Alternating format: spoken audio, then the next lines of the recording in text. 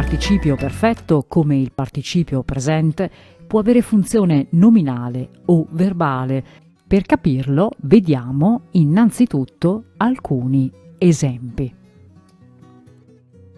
Nelle orazioni controverre, dette anche verrine, nel 70 a.C. Cicerone adducendo una serie di prove molto convincenti, riesce a dimostrare la colpevolezza del propretore della Sicilia che si era macchiato di corruzione.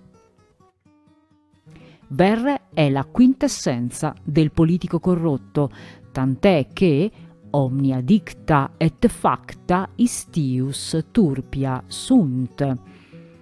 Tutte le cose dette e fatte alla lettera di costui sono vergognose.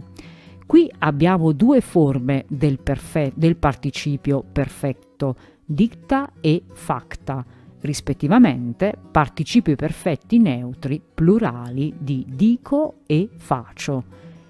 Una prima traduzione potrebbe essere appunto le cose dette e le cose fatte di costui sono vergognose, Volendo perfezionare la nostra traduzione, potremmo dire le affermazioni e le azioni compiute da costui sono vergognose, oppure ogni cosa detta e fatta da costui è vergognosa.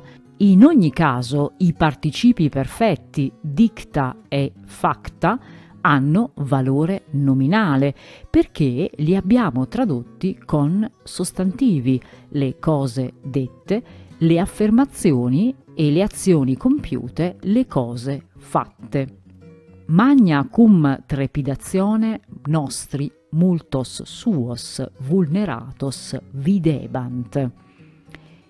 Con grande agitazione, dice Labieno, rivolto a Cesare, magna cum trepidazione, nostri, i nostri, videbant, vedevano, multos suos, molti dei loro, cioè molti loro compagni, vulneratos, feriti.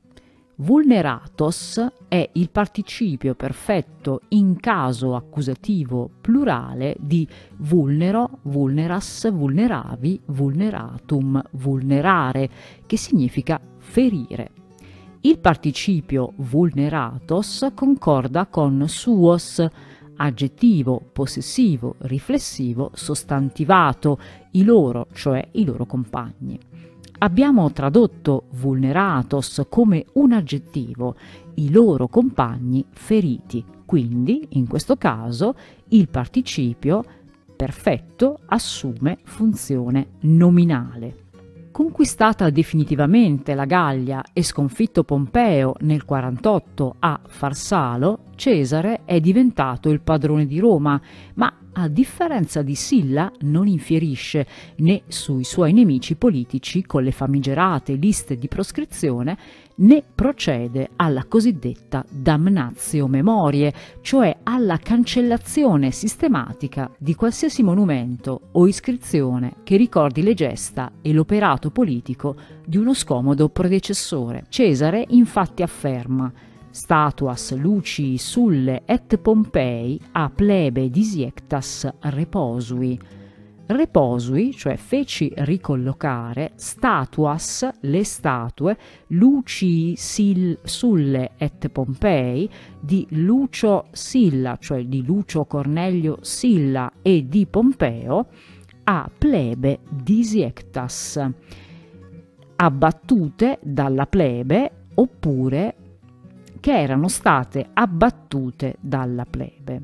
Il participio disiectas, che concorda in genere, numero e caso con statuas, può essere tradotto con una subordinata relativa, che erano state abbattute, la quale svolge la funzione di attributo perché specifica, appunto con una proposizione, una caratteristica del nome, le statue.